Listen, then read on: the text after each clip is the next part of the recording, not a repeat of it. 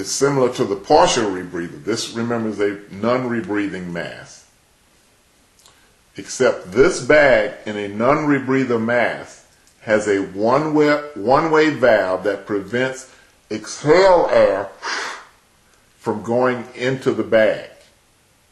All the exhale air leaves the mask through the side holes in the mask. That's why it's called a non-rebreather. The patient does not rebreathe any of their exhaled air. The plastic reservoir bag has a high concentration of oxygen.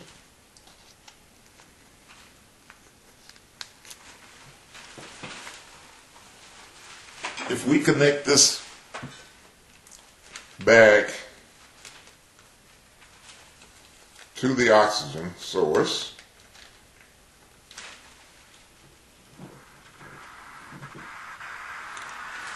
And one of the problems is that this oxygen cylinder only goes up to 8 liters, and you need to have the oxygen source much higher for a non-rebreather mask, as it will fill this bag with oxygen.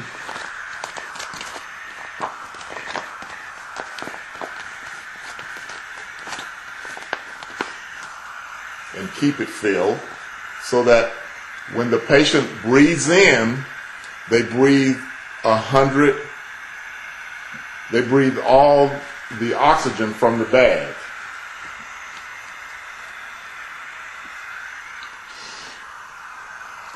Like that. When they exhale,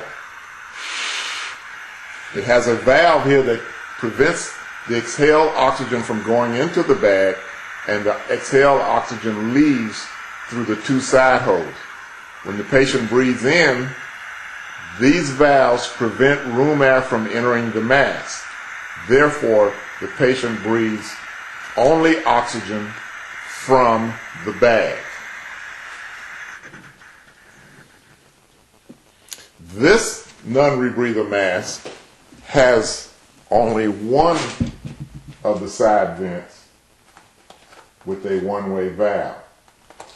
This is done on some masks because if you don't have enough oxygen or high flow rate, or for some reason this becomes obstructed, an unconscious or immobilized patient could not get any air at all because these side vents would be closed. This is not given enough oxygen so the patient would not get any air if they didn't have a side vent open. Other non-rebreather masks typically have both valves on the side vent. Therefore, as you can see, when I breathe in, I get no oxygen.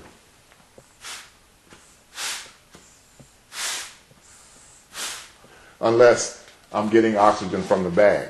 If this becomes detached or they don't have enough flow rate to the bag, I'm am not getting any air at all, let alone oxygen.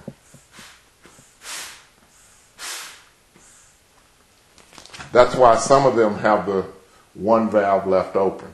You get a better, higher concentration of oxygen if both are closed because it's not drawing in room air when the patient inhales.